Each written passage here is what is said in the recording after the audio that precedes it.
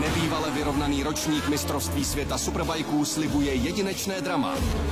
Během prvních dvou závodních víkendů totiž vítězství pozbírali hned čtyři různí jezdci. Poznáme v nizozemském Asenu další zájemce o titul, anebo si to silné kvarteto rozdá mezi sebou. To se dozvíte na Nova Sport 6. Už tento víkend.